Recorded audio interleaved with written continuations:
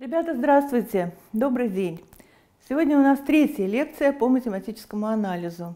Но, как было сказано на прошлой лекции, мы постараемся ввести операции, сложения, умножения, а, э, сравнение мы уже ввели, правила. Значит, три правила, можно их так назвать, сравнение, сложение, умножение для вещественных чисел. И покажем, что они удовлетворяют тем самым 13 свойствам, которые были перечислены раньше для множества рациональных чисел. Ну вот давайте прежде всего сформулируем. Значит, я хочу напомнить э, материал, из материала прошлой лекции, что у нас были доказаны две леммы о приближении вещественных чисел рациональными. Э, и первая из них гласит, что если у нас есть вещественное число, любые вещественные числа а и b то существует, значит, для любого n существуют такие рациональные числа. Альфа-1, альфа-2, бета-1 и бета-2, рациональные числа, для которых выполняется а, условие, я вот раньше его пометила знаком решеточка, для каждого из этих чисел альфа-1 не превосходит А, не превосходит альфа-2. Бета-1 не превосходит Б, не превосходит бета-2.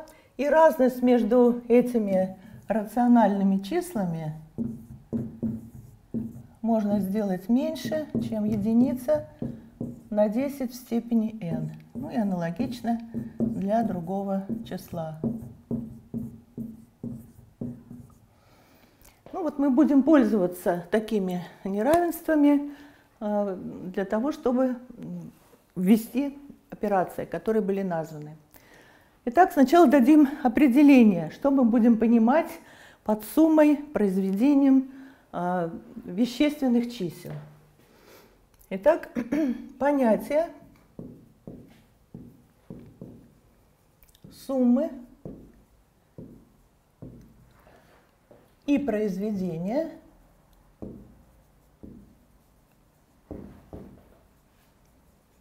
вещественных чисел обратное вещественное число. Обратное вещественное число. Вот мы сейчас займемся а, выяснением как вводятся эти операции. Определение суммы вещественных чисел А и Б называется такое вещественное число, которое мы будем обозначать а плюс Б, для которого выполняется следующее условие. Такое, что для любых, для любых альфа-1, альфа-2, бета-1 и бета-2, удовлетворяющих условиям решеточка, которые здесь написаны, верно верно, что альфа-1 плюс бета-1 не превосходит А плюс Б и не превосходит альфа-2 плюс бета-2. То есть сумма – это такое вещественное число, которое будет заключено между такими суммами для любых рациональных чисел, удовлетворяющих вот этому условию. Давайте сразу введем еще определение произведения двух вещественных чисел, и затем уже будем доказывать корректность этих определений уже дополнительно. Следующее определение. Произведением чисел А и Б вещественных, таких, что они оба больше нуля, то есть положительных бесконечных десятичных дробей, называется, называется такое число. А умножить на b, будем его обозначать, тоже вещественное число, для которого верно, для которого верны неравенства. Следующее.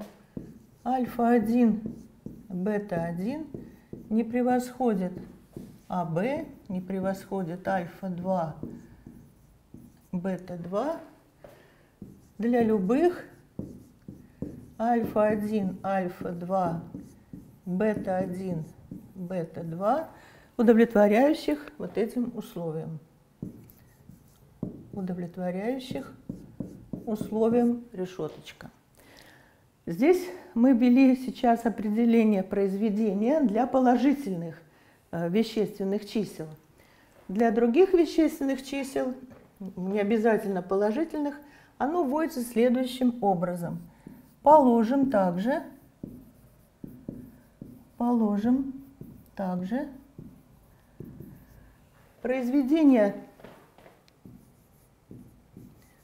двух вещественных чисел для любых, я вот здесь добавлю, для любых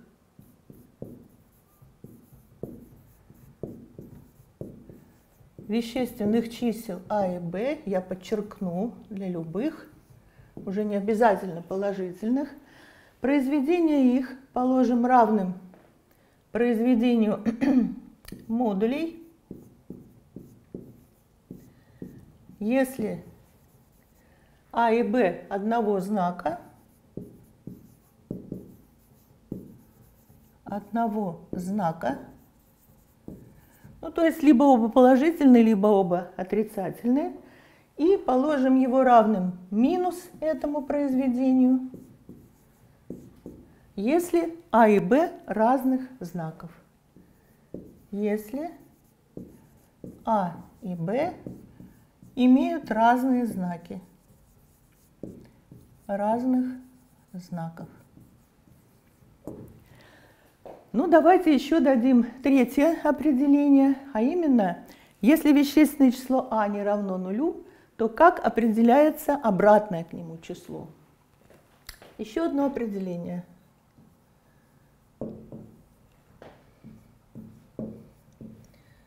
Пусть А не равно нулю и является вещественным числом произвольным. Обратным обратным к А числом, обратным к А числом называется число, которое мы будем обозначать единицы, деленные на А, или А в минус первой степени, вещественное число, а, такое, для которого, для которого выполнены условия, выполняются условия.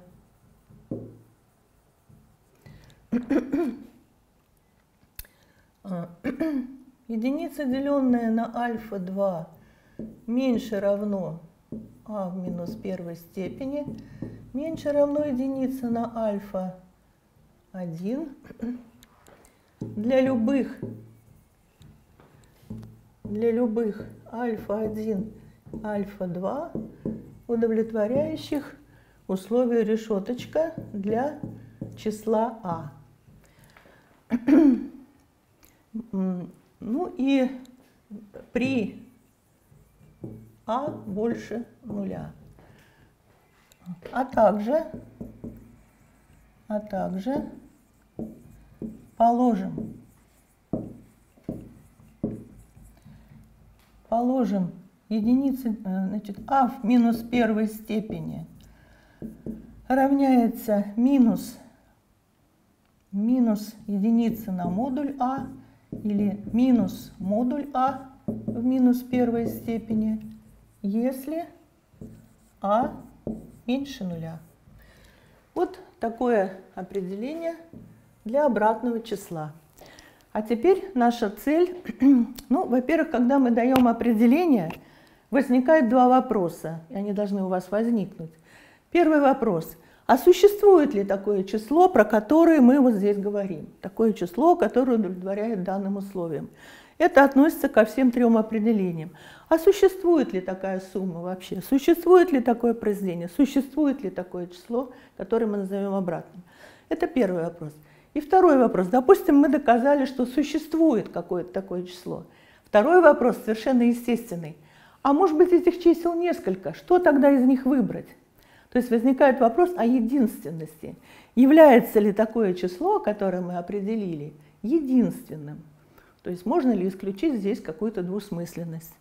И вот для того, чтобы, когда мы доказываем, когда мы отвечаем на эти два вопроса, о существовании и о единственности, то говорят, что мы доказываем корректность этих определений. Определение называется какого-нибудь объекта корректным, если доказано, что такой объект существует и что он единственный. Итак, мы будем доказывать корректность этих определений. Я оставлю на доске вот эти неравенства, они нам пригодятся еще. И доказательство корректности этих определений мы сформулируем в виде трех лем и докажем эти леммы.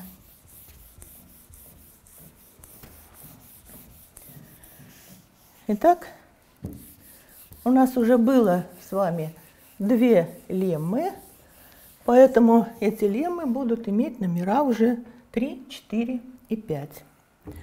Итак, я сформулирую все три леммы, а потом мы их по очереди будем доказывать.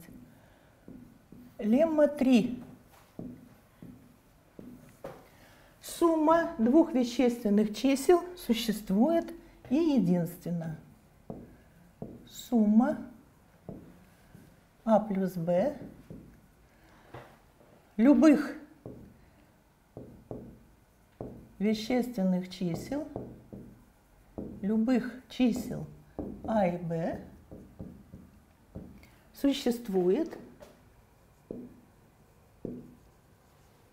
существует и единственно.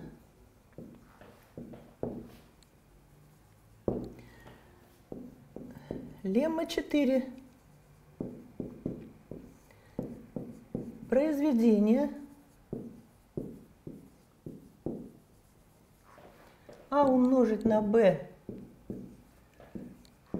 для любых, я здесь позволю себе значок употребить, для любых а и b принадлежащих множеству вещественных чисел, значит, здесь сумма, здесь произведение, существует и единственно. И единственно. И, наконец, лемма 5. Для любого вещественного числа, которое не равно нулю, существует обратное число. Существует и единственно –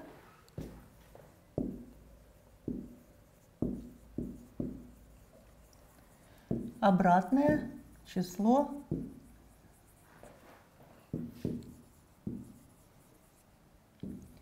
а в минус первой степени, ну или его можно записывать, как уже было сказано, единица, деленная на а. Ну вот, собственно говоря, доказательству этих лем мы сейчас посвятим оставшуюся часть лекции. Ну, может быть, еще успеем некоторый материал рассмотреть дальнейший. Итак, доказательства Леммы 3.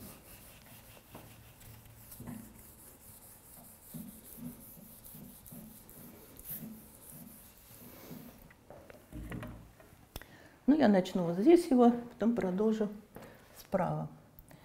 Доказательства леммы 3. Итак, пусть у нас имеется два произвольных вещественных числа, и э, для них можно подобрать такие рациональные числа, которые удовлетворяют вот таким условиям для любого, ну, здесь можно добавить натурального, для любого натурального n. Итак, по определению суммы мы должны, значит, согласно определению или по определению суммы, по определению а плюс b верны неравенства. Выполняются такие неравенства. Альфа-1 плюс бета-1 не превосходит а плюс b и не превосходит альфа-2 плюс бета-2 для любых для любых альфа и t и бета и t и равно 1, 2 удовлетворяющих правилу решеточка. Давайте прежде всего займемся вопросом, существует ли такое число. Ну, для все эти числа рациональные у нас, и для рациональных чисел у нас есть 13 свойств этих операций между ними. Поэтому давайте сравним, ну, во-первых, все эти числа, которые здесь написаны, они вещественные, но, тем не менее, давайте попробуем сравнить два числа, которые стоят слева и справа в этом двойном неравенстве. Заметим, что альфа-1 плюс бета-1 не превосходит альфа-2 плюс бета-1. Откуда это видно? У нас есть неравенство, э, значит, по транзитивности альфа-1 не превосходит альфа-2. Э, ну, я это не буду писать, устно объясняю. Значит, вот у нас есть двойное неравенство. Мы берем альфа именно такими. Для вещественных чисел было введено правило сравнения – но рациональные числа тоже являются вещественными, и была доказана транзитивность этого правила сравнения. То есть если у нас есть двойное неравенство, то альфа-1 в данном случае не превосходит альфа-2. Но если альфа-1 не превосходит альфа-2, и мы добавим э, к обеим частям этого неравенства одно и то же число бета-1, то неравенство у нас сохранится по одному из свойств арифметики рациональных чисел. Далее. Теперь рассмотрим э, сравнение вот этой суммы с этой суммой. Значит, она не превосходит альфа-2 плюс бета-2 по аналогичной причине. Бета-1 у нас не превосходит бета-2 э, в силу вот этого неравенства решеточка. И если мы к обеим частям прибавим альфа-2, то неравенство сохраняется. Итак, поэтому отсюда мы получаем по транзитивности, что альфа-1 плюс бета-1 не превосходит альфа-2 плюс бета-2. Вот значит, первый такой маленький шажок в нашем рассуждении. Ну, теперь давайте зафиксируем какую-нибудь сумму, стоящую справа, и будем подбирать, э, менять всевозможные числа, которые стоят слева. Э, исходя из этих неравенств. Значит, если мы зафиксируем альфа-2 и бета-2, а альфа-1 и бета-1 будем менять, то у нас получится множество. Вот эти суммы назовем нижними, а эти верхними для удобства рассуждений. Значит, вот это вот нижняя сумма, нижняя сумма, а это верхняя сумма. Ну, в кавычках можно написать это и здесь тоже. Заметим, что множество всевозможных нижних сумм, множество всевозможных нижних сумм, если мы будем менять их, не выходя, конечно, за пределы этого неравенства, э, заметим, что оно ограничено сверху, ограничено сверху чем оно ограничено? Что может служить верхней границей? Любая верхняя сумма. Значит, если мы верхнюю сумму зафиксировали, то все нижние суммы, любая из нижних сумм ее не превосходит. Значит, это верхняя граница. Ограничено сверху любой верхней суммой. Верхней суммой. Итак, мы получаем множество некое, ну это рациональные числа, но они же и вещественные, множество чисел, ограниченных сверху. А по доказанной нами ранее теореме 1 у этого множества тогда существует супремум. Существует супремум вот этого множества. Конечно, я повторяю, что берутся числа, удовлетворяющие неравенству решеточка. Давайте обозначим его, ну, например, гамма. По свойствам супремума что мы можем с вами написать? Супремум – это верхняя граница такого множества. Значит, тогда мы имеем следующее неравенство. Какую бы нижнюю сумму мы ни взяли, любой элемент этого множества не превосходит супремума. Значит, мы имеем неравенство альфа-1 плюс бета-1 не превосходит гамма. Ну, а гамма – это точная верхняя грань. Значит, все остальные верхние грани не меньше, чем эта верхняя грань. А все остальные верхние грани – это как раз вот такие суммы. Значит, получается, что любую из верхних сумм мы можем сюда поставить и получить двойное неравенство по свойствам, тогда по свойствам, по свойствам супремума, вот мы имеем такое двойное неравенство. А что, э, о чем нам это говорит? Это верно будет для любых, для любых альфа ит и бета ит удовлетворяющим условием решеточка. Ну, конечно, и равно 1, 2. О чем это нам говорит? Это говорит о том, что число гамма подходит под определение суммы двух чисел альфа а, а плюс б. Значит, гамма, отсюда следует, что гамма удовлетворяет определению, определению суммы. Таким образом, какое-то число, которое удовлетворяет определению суммы, существует – мы доказали существование суммы. Доказано, доказано существование, существование суммы. Теперь следующий вопрос. Мы должны доказать единственность такой суммы. Ну, вот я сотру уже теперь определения, которые у вас зафиксированы и начало доказательства. Теперь попробуем показать, что такая сумма только одна. Ну, кстати, э, такие же рассуждения мы могли провести немножечко иначе, я не буду это записывать, но когда мы записали, что любая нижняя сумма не превосходит любой верхней суммы, то могли заметить, что множество всех верхних сумм ограничено снизу. Чем оно ограничено? Любой нижней суммы. Но тогда мы получаем, что множество всех верхних сумм а, имеет инфимум.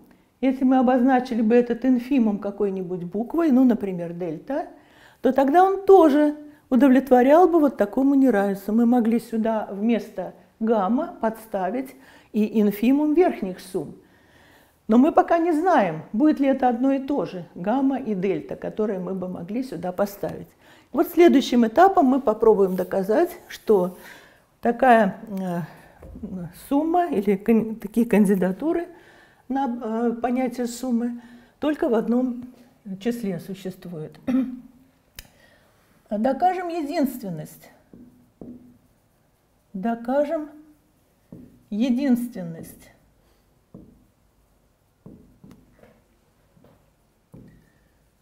Единственной суммы. Предположим, противное. Вот я уже говорила, что я употребляю иногда такой удобный значок, две буквы «П». Предположим, противное. Пусть существует два различных числа, ну, скажем, гамма-1 и гамма-2, которые не равны между собой. И каждая из них удовлетворяет вот такому неравенству. Давайте я здесь поставлю значок. Ну, например, вот значок бемоль. А, и гамма итая, ну, гамма первая и гамма второе удовлетворяет условию бемоль. То есть каждая из них удовлетворяет определению суммы. Что мы тогда имеем? Тогда каждая нижняя сумма альфа-1 плюс бета-1 не превосходит гамма-1, но гамма-1 меньше, чем гамма-2, а гамма-2, конечно, не превосходит любой верхней суммы. А, гамма-1 и гамма-2 – это вещественные числа. Мы пока не знаем их в точности, но это вещественные числа. Что мы можем дальше сделать? У нас два вещественных числа, которые отличаются между собой. По лемме 2, доказанной на прошлой лекции, мы знаем, что между ними можно вставить рациональное число, которое будет в строгом неравенстве с ними. Значит, по лемме 2, по лемме 2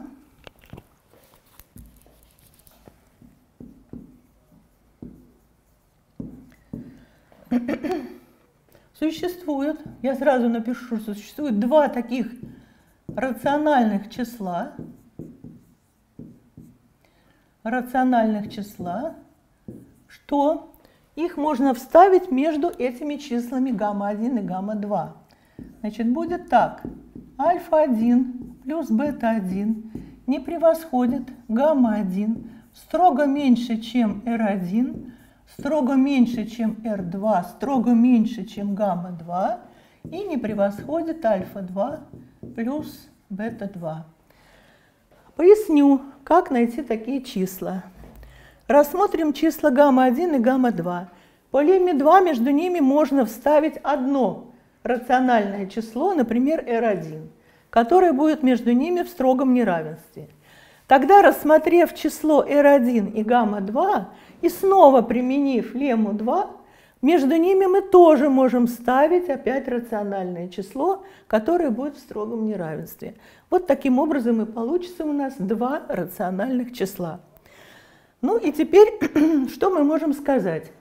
Слева, я вот подчеркну, э, сумма слева, нижняя сумма, вот эти два числа и эти два числа являются рациональными и между ними находятся строгие неравенства. С рациональными числами мы умеем производить все арифметические действия, поэтому мы можем заметить, да, и пусть предположим, что поскольку эти числа у нас различны, что пусть у нас R2 минус R1 это есть некоторое число, тоже рациональное, конечно, которое больше нуля, поскольку они разные. Но тогда из этих неравенств видим, что если мы вычтем из этой суммы эту, значит, альфа-2 плюс бета-2 минус альфа-1 плюс бета-1, разность будет строго больше, чем расстояние между R2 минус R1, то есть D. Итак, у нас получается, что для любых обращаю ваше внимание, для любых рациональных чисел, удовлетворяющих вот этому э, условию решеточка, должно быть вот такое вот неравенство, если наше предположение верно. Однако, однако, однако, вот эту разность можно записать таким образом. Однако альфа-2 плюс бета-2 минус альфа-1 плюс бета-1 мы можем расписать, по-другому сгруппировав слагаемые, альфа-2 минус альфа-1 и плюс бета-2 минус бета-1. По нашим условиям решеточка и по значит, леме 1 мы знаем, что разности между этими числами – можно взять как угодно маленькими. Поэтому мы можем взять, значит, взяв разности между этими э, выражениями. Ну, например, э, ну, давайте возьмем, например, меньше, чем d, деленное на 3. И здесь меньше, чем d, деленное на 3. Я хочу заметить, что можно всегда подобрать настолько большой показатель n, что вот это число будет меньше наперед заданного числа. Например, меньше, чем d, деленное на 3. Ну тогда получается, что вся сумма у нас будет меньше, чем 2 третьих d. Ну и заведомо меньше, чем d. Получается противоречие. Итак, значит, вот это условие, которое у нас вот здесь возникло, оно противоречит вот тем условиям решеточка, которые были фактически заложены в определении суммы. Итак, мы получили противоречие. Почему мы его получили? Потому что мы э, значит, предположили, что существует два различных числа, претендующих на звание суммы. Итак, это противоречие. Значит, в чем э, суть доказательства от противного? Мы предполагаем, что это не так. Вот мы предположили, что сумма не, не одна, что это не так, и пришли к противоречию. Это доказывает нам что? Что нет, это неверно, что сумма только одна. Итак, мы доказали полностью нашу лемму. Лемма 3 доказана. Доказано полностью. Итак, мы доказали, что сумма двух вещественных чисел существует и что она является единственной. Перейдем к доказательству леммы 4.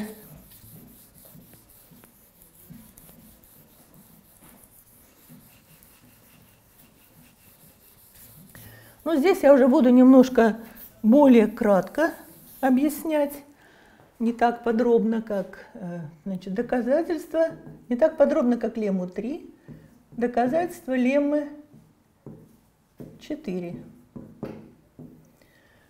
Давайте сначала э, дадим обоснование, что произведение двух положительных чисел существует и единственно. А остальные там э, случаи, когда числа разных знаков или оба отрицательные, уже будут следовать из этого. Значит, пусть наши числа э, оба больше нуля. 0 меньше а и 0 меньше b. А и b вещественные числа. Э, тогда мы можем, естественно, ограничиться тем, что будем выбирать числа альфа 1 Значит, тогда в неравенстве решеточка. Можно выбирать, выбирать числа альфа-1, альфа-2, бета-1, бета-2, все они, чтобы были все они положительными. А, ну вот, собственно говоря, картинка. Вот у нас 0, вот, допустим, где-то имеется число А, где-то имеется число Б, и мы можем всегда числа, которые ограничивают а, число А и число Б, взять тоже положительными. То есть вот здесь где-то будем брать альфа-1, скажем, здесь где-то альфа-2, ну, например, здесь бета-1, если можно здесь его брать, можно здесь, и с этой стороны бета-2. Это просто некоторая иллюстрация для этих условий. Итак, рассуждая примерно похоже, аналогично тому, как мы делали в лемме 3, мы можем заметить следующее. Поскольку все числа у нас положительные, то мы получаем следующее неравенство. По определению произведения для положительных чисел – Значит, наше произведение должно удовлетворять следующим условиям. Произведение альфа-1 на бета-1 не должно превышать произведение наших чисел. Мы пока не знаем, существует ли оно. Вот мы хотим найти такое число. И а, произведение не должно превышать альфа-2 умножить на бета-2. Что такое произведение, мы пока знаем только по определению – ну и поэтому попытаемся сравнить вот эти произведения, опять же, исходя из свойств рациональных чисел. Заметим, что альфа-1, бета-1 не превосходит альфа-2, бета-1 по свойствам рациональных чисел. Альфа-1 у нас не превосходит альфа-2 по транзитивности, исходя из свойства решеточка. И если мы обе части умножаем на одно и то же положительное число, то неравенство сохраняется. Следующее неравенство мы получаем тоже таким же образом. У нас есть неравенство между числами бета-1 и бета-2, вот по транзитивности. Умножая обе части на положительное число альфа-2, мы получаем второе неравенство. Отсюда по транзитивности, опять же, мы имеем вот такое вот неравенство. Значит, альфа-1, бета-1 не превосходит альфа-2, бета-2 по транзитивности. Ну и таким же образом, рассуждая как время 3, зафиксируем числа альфа-2, бета-2, значит, зафиксируем вот это произведение. Ну, тут тоже можно сказать, что это будет нижнее произведение, нижнее, а это верхнее произведение. Верхнее произведение. Если мы зафиксируем, ну, например, зафиксируем нижнее произведение и заметим тогда, что все верхние произведения, множество всех верхних произведений ограничено снизу, любым нижним произведением. Значит, множество всех верхних произведений, фигурные скобочки означают, что мы берем всевозможные вот такие произведения, ограничено снизу, ограни, ограничено снизу, любым, любым нижним произведением альфа-1 на бета-1. А, если множество вещественных чисел ограничено снизу, то мы уже знаем по теореме 1, что у него тогда существует инфимум. Существует инфимум этого множества – Давайте обозначим его, ну, например, дельта. Инфимум такого множества есть дельта. Но опять же, по свойствам инфимума, по свойствам инфимума мы получаем следующее неравенство, что любое, любое нижнее произведение альфа-1, бета-1 не превосходит, потому что это, значит, любое нижнее произведение – это нижняя граница для верхних произведений. А нижняя граница, она всегда меньше либо равна, чем точная нижняя граница. Поэтому здесь будет неравенство в эту сторону. Ну, а инфимум не превосходит любого верхнего произведения. Итак, это число дельта, инфимум.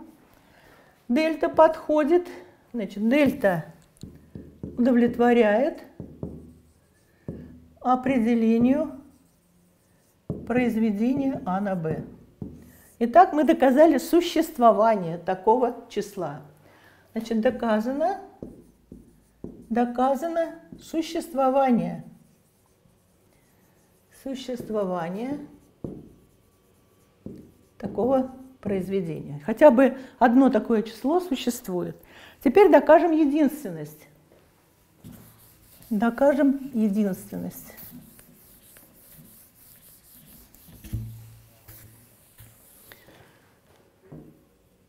Докажем единственность.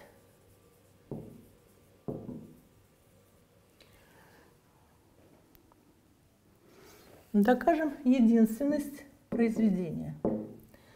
Ну и будем тоже действовать аналогично предыдущей лемме.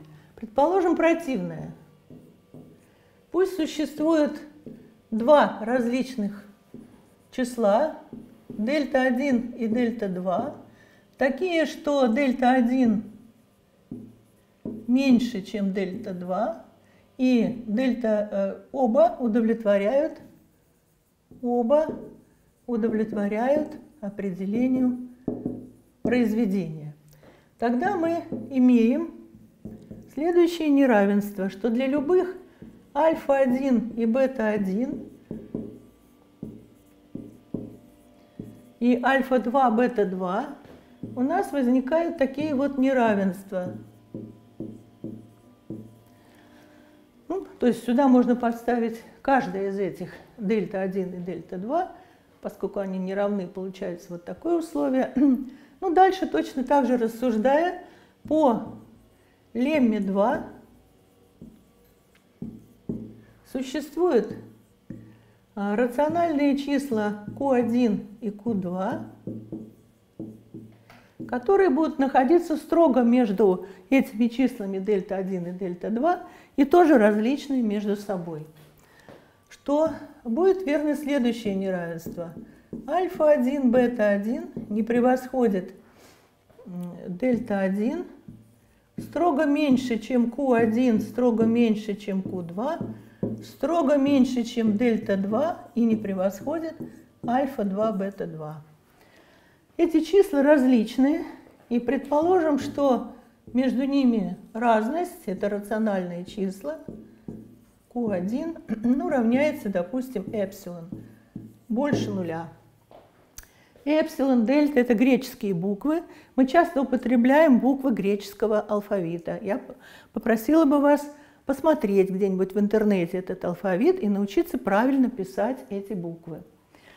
Итак, пусть у нас разность между этими числами есть некое положительное число, но тогда отсюда легко заключить, что разность между любым произведением верхних, э, любым верхним произведением и любым нижним произведением должна быть больше, чем эпсилон, поскольку эпсилон есть разность между этими точками. Значит, по нашему предположению, что существует две кандидатуры на произведение, возникает вот такое неравенство.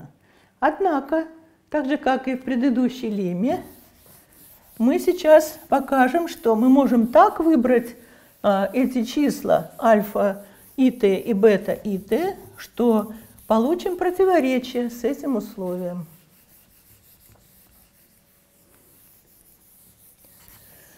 Однако,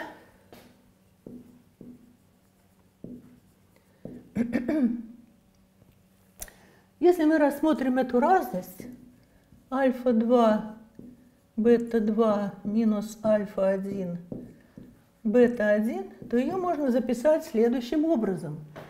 Альфа-2 умножить на бета-2 минус бета-1 и а, плюс так, и плюс бета-1 умножить на альфа-2 минус альфа-1.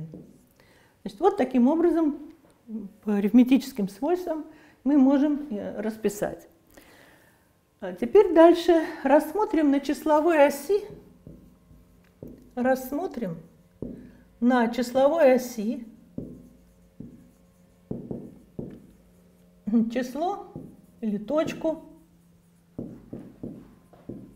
точку, какую-нибудь, ну, например, m, такую, что m, которая больше сразу двух чисел, и a, и b, что a меньше а, или равно m, и b меньше равно m. Например, такое, э, такое число m можно выбрать следующим образом. Например, m можно взять равным максимуму из двух чисел наших а и b, ну и, допустим, прибавить к ним единицу. Мы хотим, чтобы это было число рациональное. Вот я здесь добавлю. Рациональное, но больше сразу двух и а, и b. Ну, на числовой оси это легко. Значит, из двух чисел а и b либо они равны, тогда максимум будет равен каждому из них – если они не равны, то максимум это больше из них. А легко показать, что из двух неравных чисел всегда одно меньше, другое больше. Значит, мы возьмем больше из них и добавим единицу. У нас получится, а, прошу прощения, мы возьмем целую часть, я так скажу. Значит, давайте я аккуратно запишу. Мы возьмем, чтобы сразу получить рациональное число, мы возьмем целую часть, целая часть от максимума между этими, для этих двух чисел, и плюс единица. Целая часть от этого максимума плюс единица. Я покажу это на иллюстрации. Вот у нас 0. Вот, допустим, число А, вот число Б. Значит, мы возьмем максимальное из этих двух чисел, например, число b. b равняется b нулевое, запятая b1 и так далее, bn. Это бесконечная, может быть, десятичная дробь. Тогда в этом случае, в этом случае число m будет b нулевое плюс единица.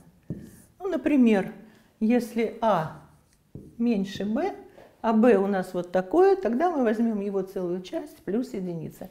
То есть такое число m всегда можно взять. И будем рассматривать, поскольку это число больше и а, и b, то мы можем считать, э, можно взять или можно рассматривать альфа-2 меньше или равного m, и бета-2 тоже меньше или равный m. Значит, вот у нас здесь где-то стоит число m, и мы можем альфа-1, альфа-2, вот здесь я нарисую картиночку. Ну, бета-1 может быть и здесь, может быть и, ну, например, вот здесь я нарисую бета-1. Нас сейчас мало интересует, где находится бета-1. Но бета-2 мы можем взять всегда между этими числами, причем строго. А, мы можем взять и строго меньше, ну, нам достаточно этого. Ну и тогда давайте вернемся к этому выражению. Вот я обозначу его вот таким диезиком. Тогда выражение диез можно оценить следующим образом. Я вот здесь сотру, это уже мы рассмотрели. Значит, если мы делаем предположение, что у нас произведение не единственно, то возникает вот такое неравенство, и мы сейчас хотим прийти к противоречию.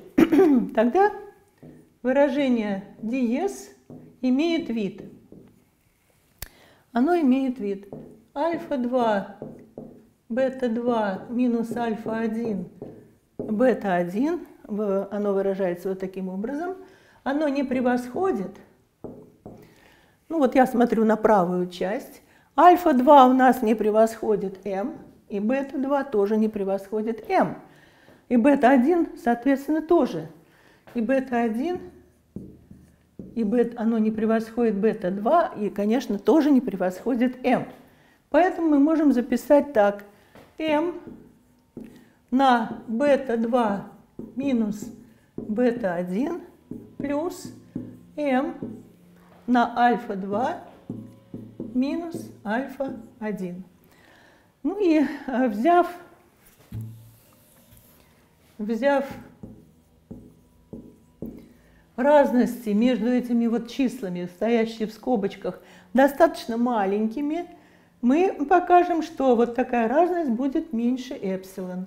Взяв бета-2 минус бета-1 меньше, чем а, эпсилон, деленное, ну скажем, на 3m, и альфа-2 минус альфа-1 тоже меньше, чем эпсилон, деленное на 3m, взяв вот такие разности, мы получим, что вот наша разность, ну, я вот заново ее напишу, мы получим, что альфа-2, бета-2 минус альфа-1, бета-1 вот она у нас расписана, вот такому неравенству удовлетворяет.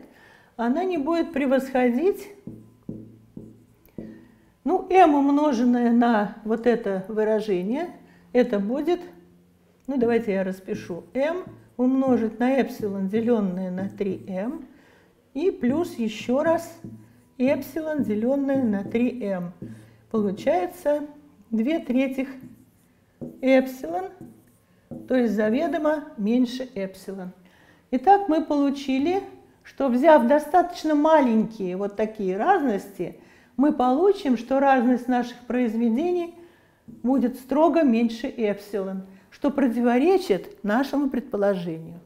Отсюда следует, что а, произведение положительных чисел единственно, единственно И наша лемма доказана для положительных чисел. Для положительных чисел А и Б. И лемма 4 доказана для А больше нуля и Б больше нуля. Ну, если одно из них, из этих чисел равно нулю, можем заметить, то тогда в качестве альфа-1 и альфа-2 мы уже раньше отмечали, что если число рационально, а 0 это рациональное число, оно записывается как дробь 0, деленное на единицу. Значит, если одно из чисел, одно из чисел а, а и b равно нулю, равно нулю, то, например, например, например, а равно нулю, то можно взять альфа-1 равно альфа-2 и равными нулю. А, тогда получается, что отсюда сразу же следует, просто из определения, что тогда произведение таких чисел 0 умноженное на b равняется нулю. Ну, а для чисел отрицательных или чисел разного знака, значит, далее по определению, по определению произведения, оно, оно определено, оно существует и единственно, существует и единственно для любых, для любых А и Б вещественных чисел. Значит, мы рассмотрели ситуацию, когда два числа положительные – доказали полностью, что существует и единственное произведение. Рассмотрели случай, когда одно из чисел равно нулю. Ну а для отрицательных или а, чисел разных знаков это следует из а, определения. Перейдем к доказательству леммы 5. Значит, наша лемма полностью доказана. Лемма 4 полностью доказана.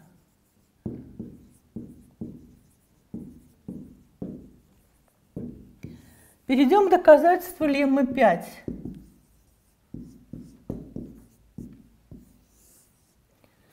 Перейдем к доказательству леммы 5. Пусть у нас А больше нуля. Покажем, что существует к нему обратное число, и оно единственно. Тогда будем рассматривать числа альфа-1 и альфа-2 рациональные, которые удовлетворяют а, правилу решеточка. Тогда, если альфа-1 не превосходит А, не превосходит альфа-2, то мы можем считать, что все эти числа тоже положительны. Потому что между нулем и числом А мы можем выбрать всегда рациональное число. Итак, ну отсюда следует сразу же неравенство для обратных рациональных, поскольку они не нулевые, альфа-1 и альфа-2, то к ним существуют обратные рациональные числа, и будет верно такое неравенство, для которого, которое у нас присутствует в определении. Единица на альфа-2 не превосходит а в минус первой степени, вот мы по определению можем так записать, альфа-1. Ну, почему такое число существует? Существует ли оно и является ли оно единственным?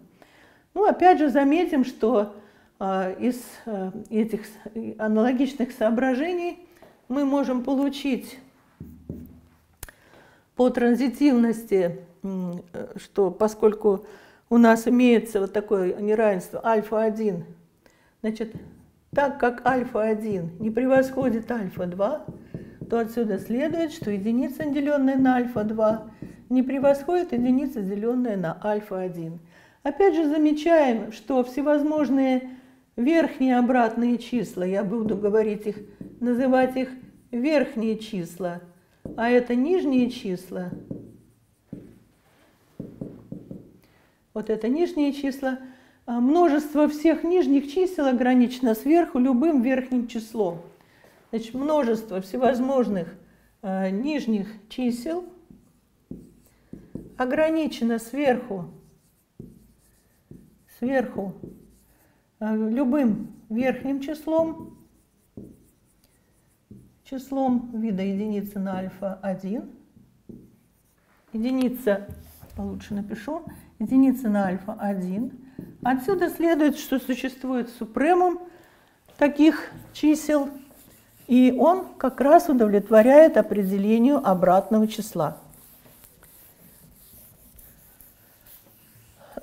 Отсюда следует, что существует супремум всевозможных таких вот этого множества, всевозможных вот таких обратных чисел, обозначим его какой-нибудь буквой, ну, например, S, и э, очевидно, что тогда S удовлетворяет э, условию.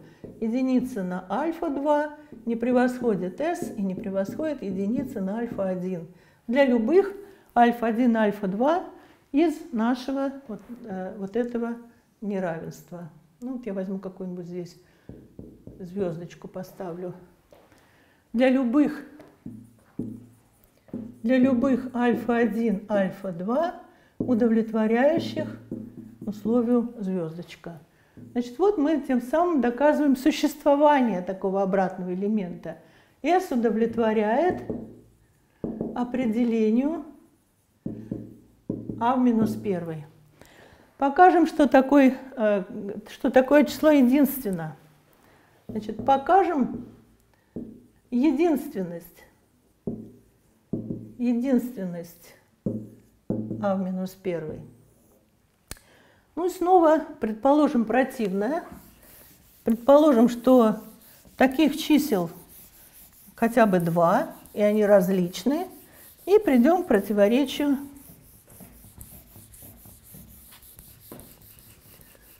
Положим, что таких чисел 2, и придем к противоречию. Предположим противное. Пусть существует S1 и S2 такие числа, что выполняется условие единица на альфа-2 не превосходит S1 меньше, чем S2 и не превосходит единицы на альфа-1.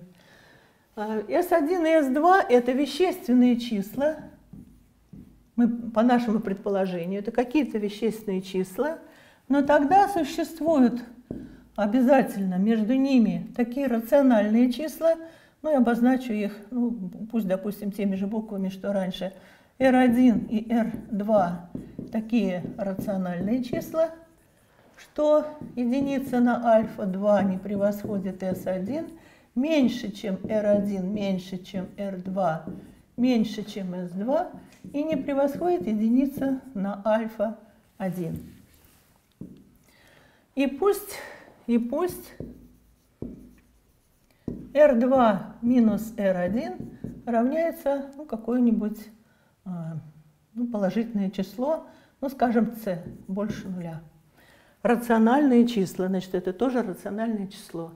Но тогда отсюда немедленно следует, что если мы вычтем из единицы, деленной на альфа-1, единица, деленная на альфа-2, то это должно быть больше, чем c.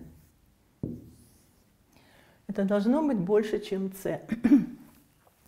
Ну, теперь заметим следующее, что когда мы с вами выбирали э, альфа-1 и альфа-2, вот у нас число а, мы выбирали их положительными. И всегда можно считать, что мы взяли число Э, альфа-1 и альфа-2 э, больше какого-нибудь числа стоящего, ну, например, число t возьмем. Значит, можно, э, можно брать или выбирать числа альфа-1 альфа-2 так, что t будет не превосходить альфа-1, ну, естественно, альфа-2. Ну и тогда давайте посмотрим, что у нас получится. Э, если эту разность немножечко преобразовать, то мы получим альфа-2 минус альфа-1, и здесь произведение альфа-1 на альфа-2. Поскольку каждое из этих чисел больше либо равно t, и они стоят в знаменателе, значит, эта дробь будет меньше либо равна чем альфа-2 минус альфа-1, деленное на t в квадрате. И теперь достаточно взять вот эту разность э, настолько маленькой, чтобы это число получилось у нас э, меньше, ну, меньше c, то мы придем к противоречию. Значит, тогда взяв, взяв альфа-2 минус альфа-1 меньше, чем, скажем, c t в квадрате, деленное а, на 2, мы получаем, получаем, что единица на альфа-1 минус единица на альфа-2 будет меньше равно, а, меньше равна следующего выражения. Она меньше равна вот этого выражения. И получаем здесь c t в квадрате на 2 и деленное на t в квадрате. T в квадрате, естественно, у нас сократится. Мы получаем c деленное на 2, что, конечно, меньше c. Вот мы пришли к противоречию с условием, что э, это должно быть больше c, если мы предположим, что э, обратных чисел два различных. Итак, лемма 5 тоже полностью доказано для положительного числа. Итак, значит, для положительного числа а лемма 5 доказано, ну а для отрицательных чисел это следует уже из определения. Значит, итак... Прошу прощения, возьмите другой маркер, пожалуйста. Угу. Это плохо видно уже. Ага, спасибо.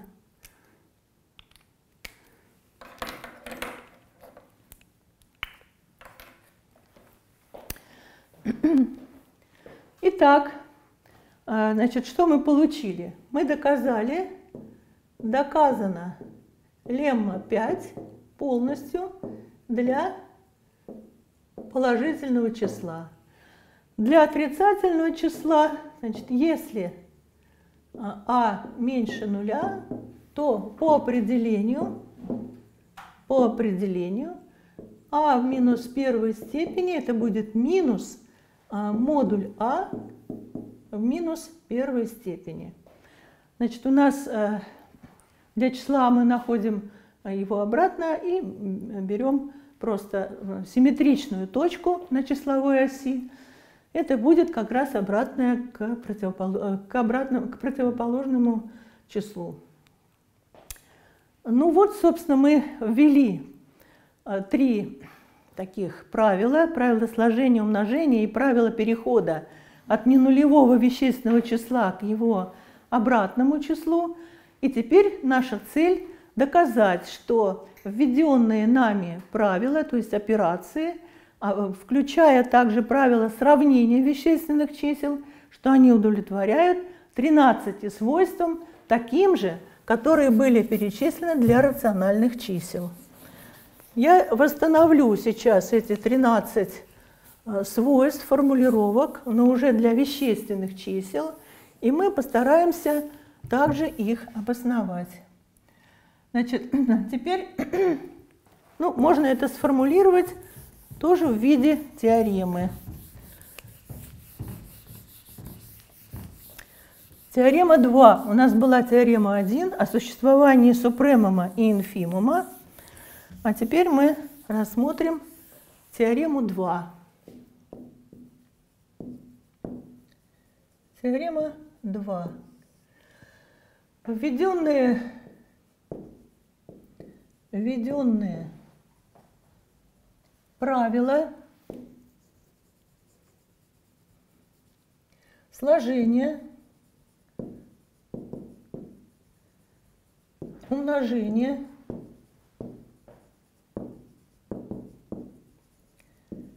сравнения –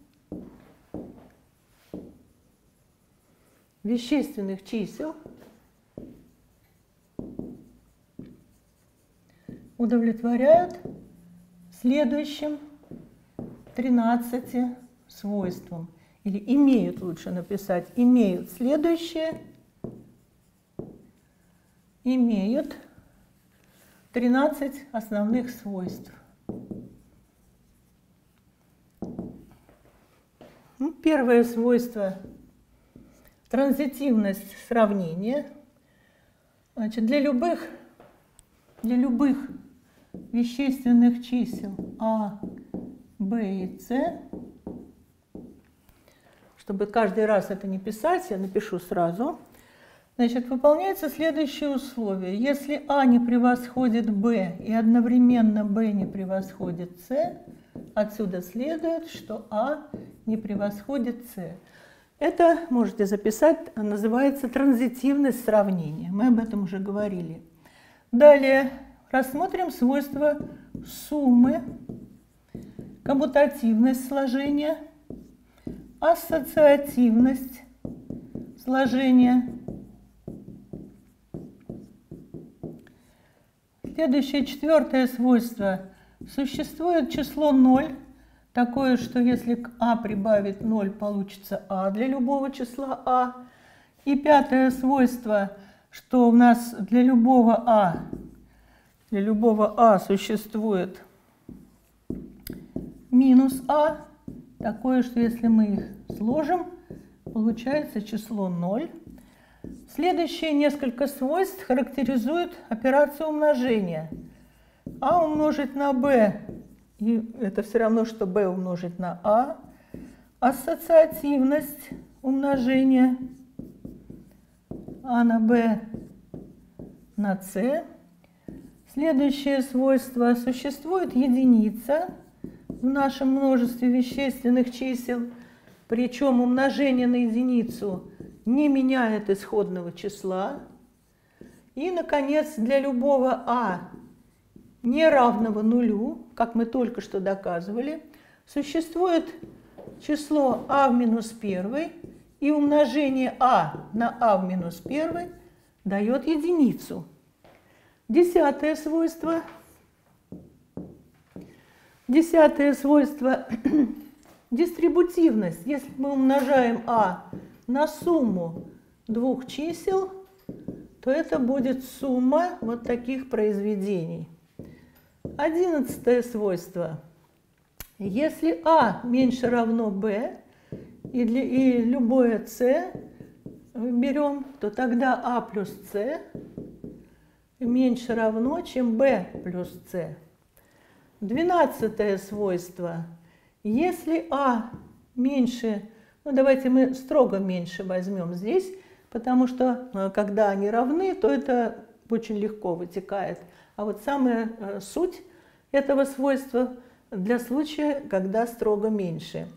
Если А меньше Б и любое С больше нуля, здесь подчеркиваю не любое, а только больше нуля, то тогда мы имеем, что АС меньше, чем БС.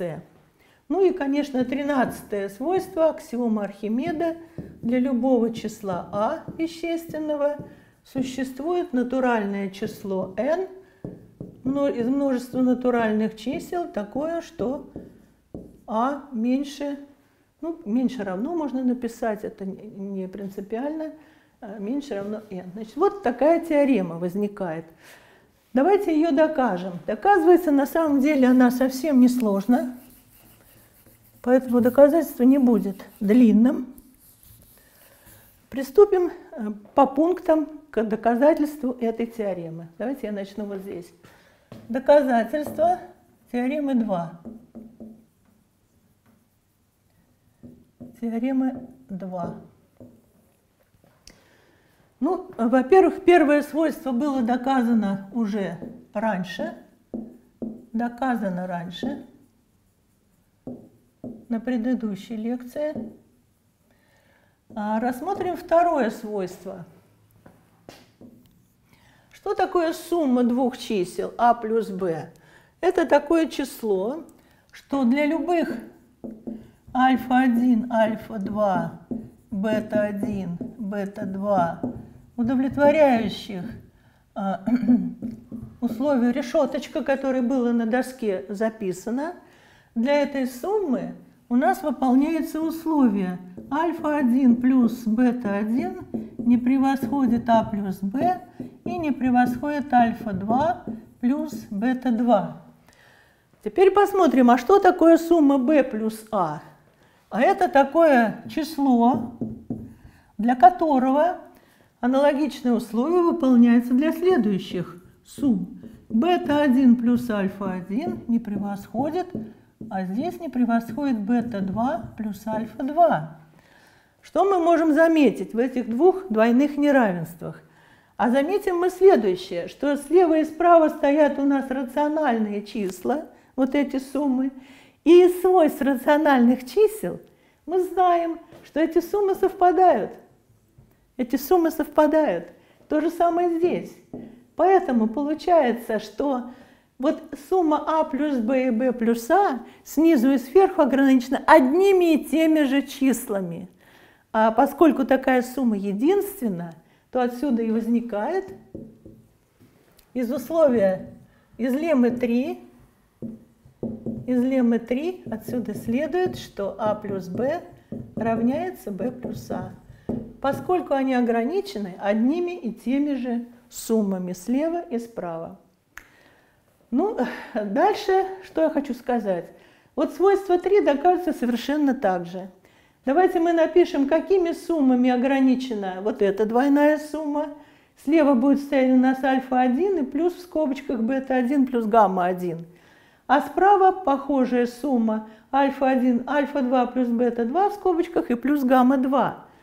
Но поскольку для рациональных чисел есть свойства ассоциативности, то эти суммы также совпадают, поэтому э, в силу э, определения сумм будут совпадать и эти суммы. Э, дальше я несколько слов скажу сейчас устно, а потом запишу комментарий. Четвертое свойство. Для числа 0 числа бета-1 и бета-2, которые его окружают в условии решеточка – могут быть взяты равными нулю просто.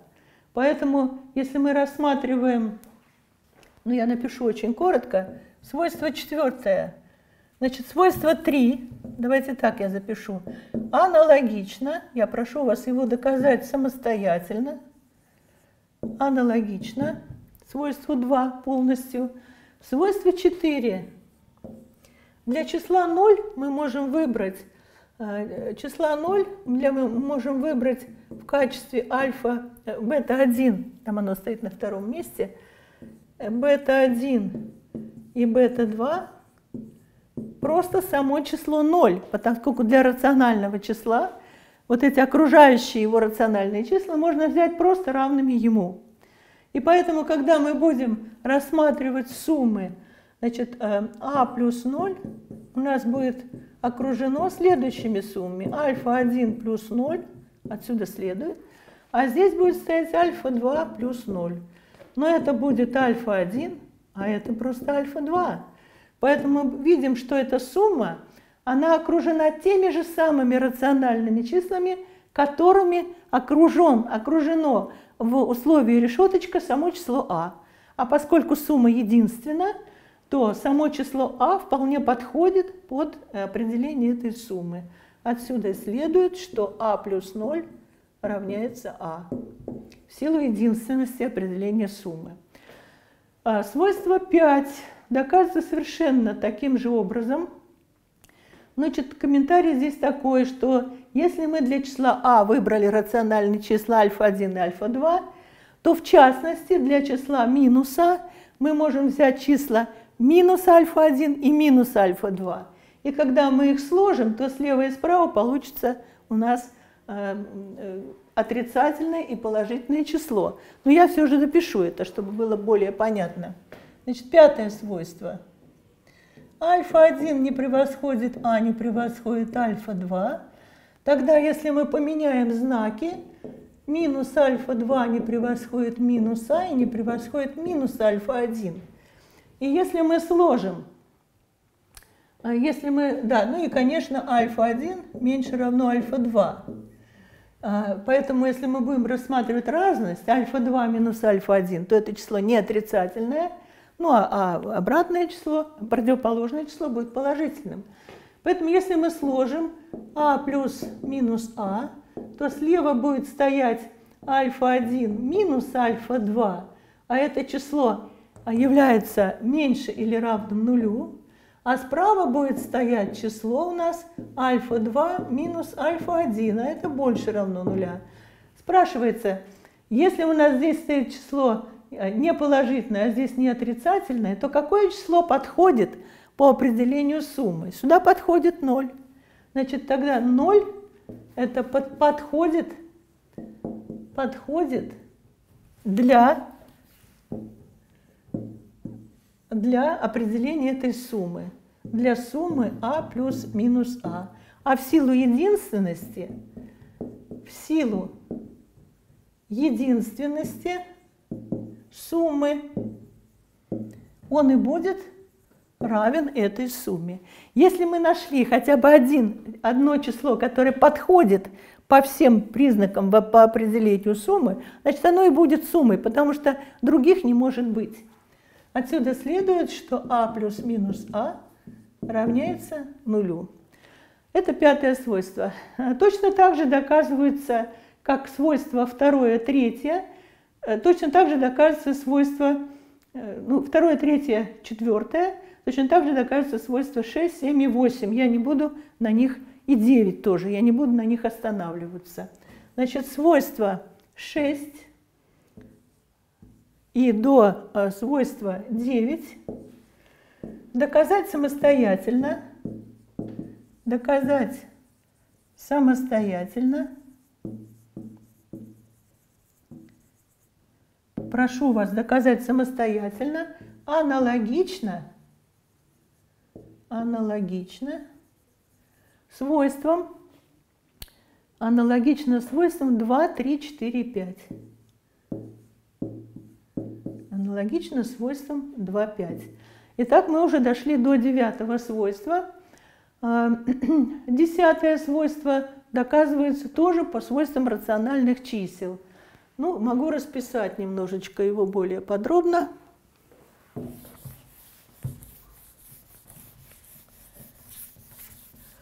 Тоже совсем просто. Итак, десятое свойство. Если мы рассмотрим э, ограничения для А, Б и С, значит, альфа-1 не превосходит А, не превосходит альфа-2, бета-1 не превосходит b, не превосходит бета-2, и гамма-1 не превосходит с, не превосходит гамма-2. Вот мы рассматриваем рациональные числа, альфа, бета, гамма, конечно, то тогда а, а, плюс, а умножить на b плюс c у нас ограничено снизу и сверху следующими числами. Альфа-1 умножить на бета-1 плюс гамма-1 а здесь стоит альфа-2, умножить на бета-2 плюс гамма-2. Если мы рассмотрим а умножить на b плюс а умножить на c, вот то, что стоит здесь с правой стороны, то эта сумма ограничена следующими выражениями. Альфа-1, бета-1 плюс альфа-1, гамма-1 с левой стороны, а с правой стороны альфа-2, бета-2 бета-2 плюс альфа-2, гамма-2. Заметим, что эти числа все рациональные, и по свойствам рациональных чисел мы имеем здесь равенство, потому что для рациональных чисел есть свойство дистрибутивности. Поэтому мы видим, что это выражение и это выражение ограничены слева и справа одними и теми же множествами рациональных чисел. И поэтому в силу единственности этих операций отсюда следует свойство 10, что и требовалось доказать. Ну, э, свойство 13 совсем просто доказывается. Давайте я сначала его упомяну, а потом мы перейдем к доказательству свойств 11 и 12.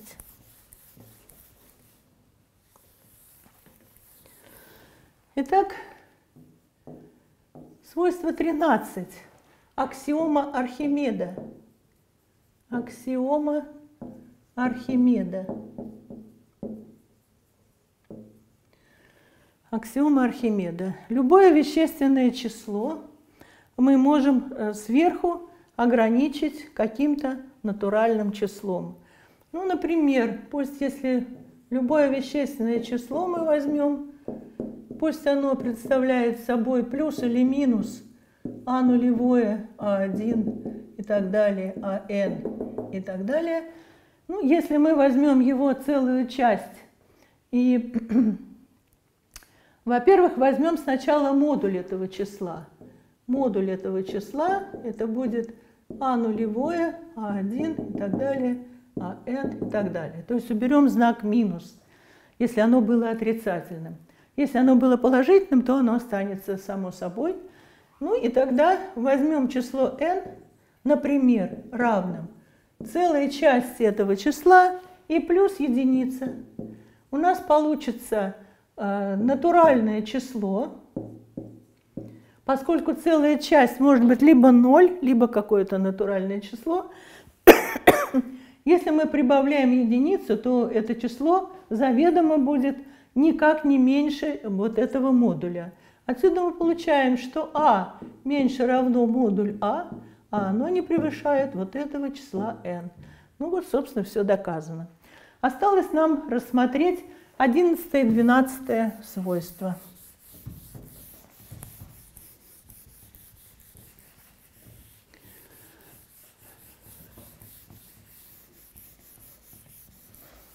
Итак, свойство 11. Пусть у нас э, А меньше Б и С произвольное число вещественное. А, Б, конечно, тоже вещественные числа, и С произвольное вещественное число. Поскольку А меньше Б, то по лемме 2, по лемме 2 можно вставить между этими числами два рациональных числа, находящиеся в строгом неравенстве. То существуют такие, ну скажем, э, гамма-1 и гамма-2 рациональные числа, что а меньше, чем гамма-1, э, меньше, чем гамма-2 и меньше b. Значит, это по лиме 2. И тогда мы можем выбирать, можно выбрать, или можно взять, короче, будет записать, можно взять альфа-1 не превосходит А, не превосходит альфа-2, и мы можем выбрать их так, чтобы альфа-2, поскольку здесь числа вот такие вставлены, ну, скажем, не превосходит гамма-1, меньше гамма-2, не превосходит бета-1 меньше равно b не превосходит бета-2. То есть я хочу сказать, что в силу Лебен-2 мы можем ставить здесь два числа, и благодаря этому мы можем считать, что альфа-2 и бета-1 находятся вот в таком строгом неравенстве. То есть мы имеем вот такое неравенство. Альфа-1 не превосходит А, не превосходит альфа-2, строго меньше, чем бета-1, и так далее. Для числа c у нас имеются, так, значит, пусть, ну, например, q1 не превосходит c, не превосходит q2, где q1 и q2 это тоже рациональные числа. Для того, чтобы показать, что а плюс c меньше равно, чем b плюс c, мы сейчас вспомним определение суммы и напишем, какими рациональными числами или суммами их окружены вот эти суммы. Тогда для а плюс с мы имеем альфа-1 плюс q1 не превосходит а плюс с, не превосходит альфа-2 плюс q2, а для суммы b плюс c мы имеем здесь вот что. Мы имеем бета-1 плюс Q1, а с этой стороны бета-2 плюс Q2. И вот, а, значит, у нас получается вот что. Если мы докажем, что можно так подобрать вот эти числа, чтобы между ними было вот такое вот неравенство, то тогда по транзитивности А плюс С будет меньше, чем b плюс c.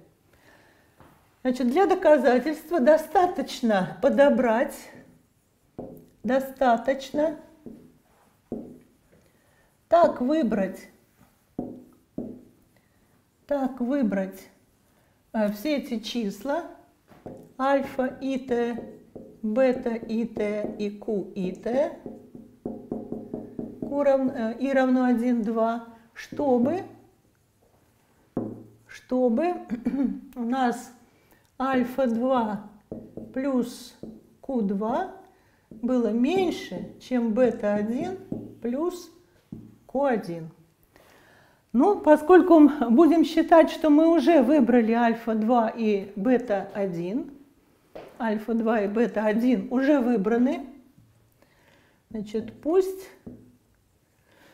альфа-2 и бета-1 уже выбраны, выбраны. И э, поскольку у нас альфа-2 меньше, чем бета-1, вот здесь неравенство это было выписано, и бета-1 минус альфа-2, ну, есть, например, какое-то число d э, больше нуля. А тогда что мы можем сказать? Для того, чтобы это неравенство было выполнено, оно эквивалентно у нас чему? Нам нужно, чтобы Q2 минус Q1 перенесем сюда, было меньше, чем бета-1 минус альфа-2. Вот что получается. А поскольку у нас эти числа уже выбраны, и между ними вот такое вот есть неравенство, то достаточно взять достаточно взять Q2 минус Q1 меньше D. И мы получим как раз то, что нам нужно. Итак, э, э, одиннадцатое свойство доказано. Свойство 11 доказано. А мы можем выбрать эту разность, естественно, как угодно маленькой. Поэтому достаточно взять ее меньше d, и все в порядке. Свойство 12.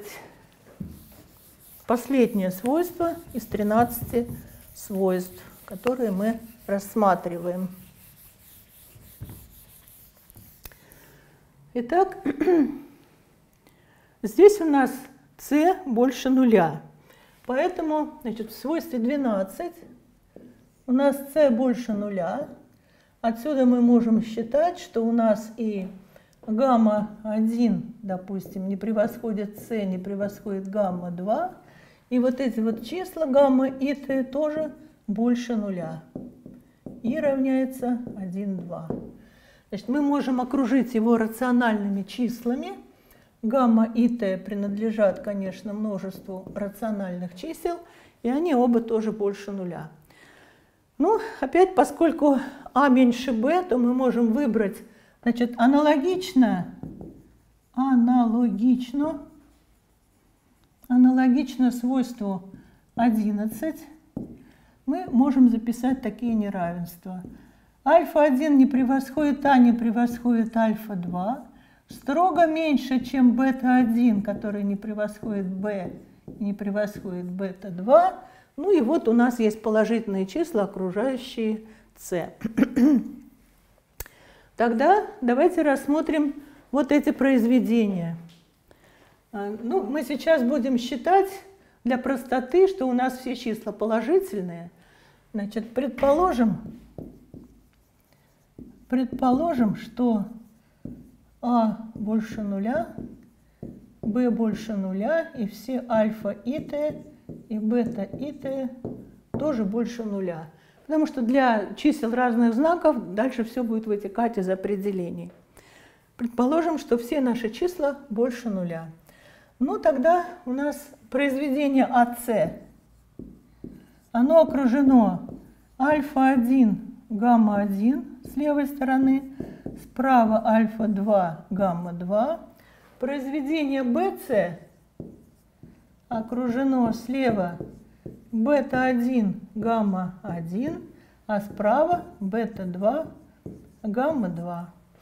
Ну и вот опять же, как в свойстве 11, нам нужно так подобрать,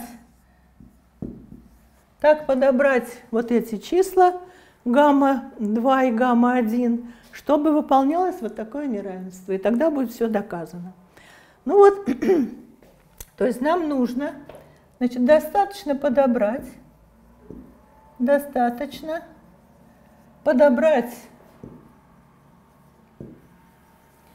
подобрать гамма-1 и гамма-2 так, чтобы, чтобы э, бета-1, гамма-1 было больше, чем, ну или наоборот я напишу, чтобы альфа-2, гамма-2 было меньше, чем бета-1, гамма-1. Ну, э, мы можем, э, то есть, иначе говоря, мы хотим, чтобы разность, э, значит, чтобы разность их была больше нуля. Значит, бета-1, гамма-1 минус альфа-2, гамма-2, она больше нуля. Вот эту разность немножечко преобразуем –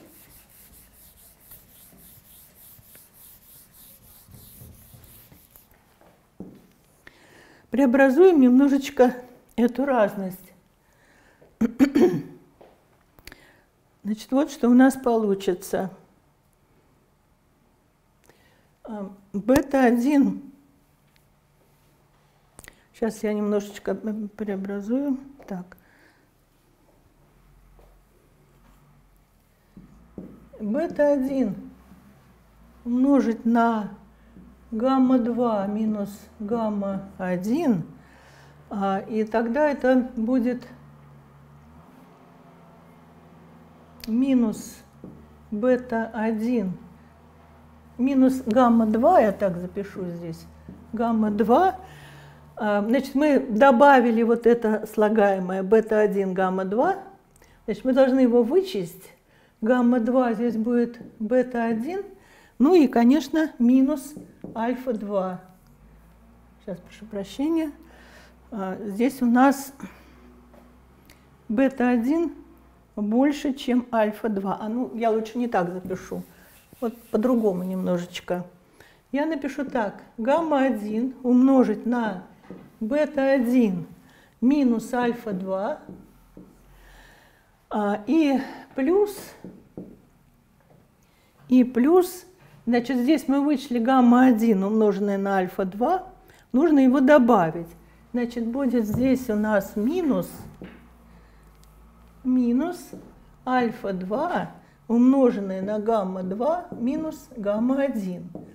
Значит, вот это мы расписали, вот это равенство. Я его повторю. Здесь бета-1, гамма-1 минус альфа-2, гамма-2 равняется вот, собственно, наша слагаемая здесь единичка. Наше слагаемое, вот оно присутствует. Мы вышли гамма-1, альфа-2, и мы добавили гамма-1, альфа-2. Вот здесь два знака минуса, вычли это. Все правильно. И нам нужно, чтобы это выражение было больше нуля. А значит, я хочу отсюда выразить вот эту скобочку. Отсюда следует, ну это фактически эквивалентно, что мы хотим взять гамма-2 минус гамма-1 меньше, чем гамма-1, деленное на альфа-2, и умножить на бета-1 минус альфа-2. Вот эта э, величина у нас уже зафиксирована. Поскольку у нас было а меньше b, то мы уже выбрали заранее вот эти два числа, бета-1 и альфа-2, так, чтобы между ними разность положительная. Ну и достаточно подобрать вот такие вот а, гамма-1 и гамма-2, чтобы выполнялось это неравенство. Ну, здесь можно поступить по-разному. Ну, например, э, как можно их выбрать? Можно это неравенство немножко усилить. Ну, например, мы можем взять какое-нибудь число, э, значит, рассмотрим. Ну, это уже не обязательно, но я хочу просто более подробно пояснить. Значит, у нас c э, было положительным числом, поэтому все эти числа положительные. Вот у нас имеется 0, а вот здесь имеется где-то c, вот гамма-1 и вот гамма-2. Мы можем выбрать какое-нибудь число, которое, а, например, гамма большое, которое выбрано так, что гамма-1 больше него. И для числа а, которое у нас зафиксировано было, мы можем выбрать а, для, числа а, ну, давайте я отдельно нарисую здесь. Вот. Число а у нас тоже положительно. Здесь вот 0. Мы можем выбрать таким образом какое-то число m, которое больше этого а. И мы можем считать, ну, рациональное число, конечно. Гамма тоже мы можем взять рациональным числом по лемме. Между нулем и гамма-1 всегда можно вставить такое число. И тогда мы можем, например, задать такое условие. Если или достаточно взять, значит, тогда достаточно взять гамма-2 минус гамма-1 меньше, чем такое выражение гамма большое, деленное на m и умноженное на бета-1 минус альфа-2.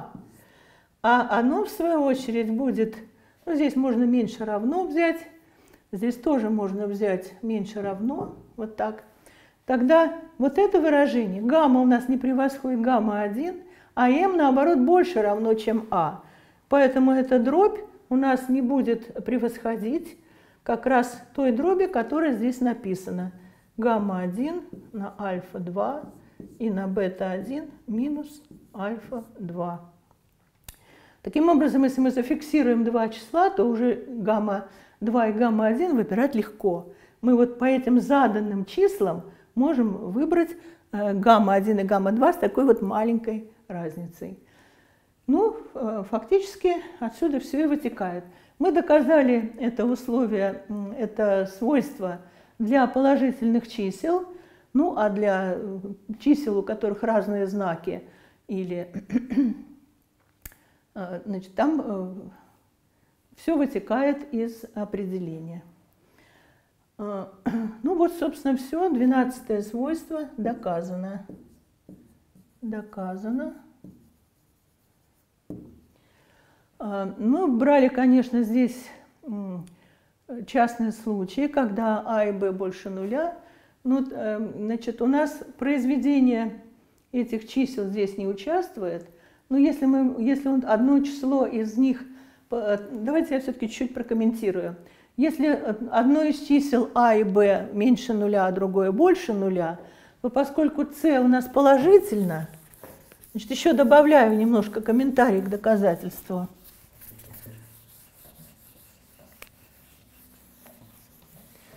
Небольшой комментарий.